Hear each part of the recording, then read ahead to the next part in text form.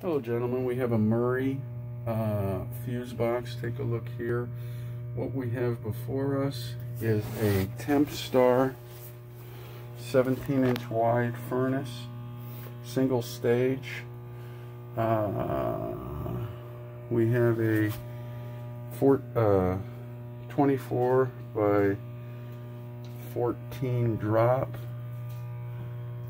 Have an Aprilaire, we'll want to include that. It's a 75,000 BTU furnace. Gentlemen, I'd love to replace this. We have some issues here.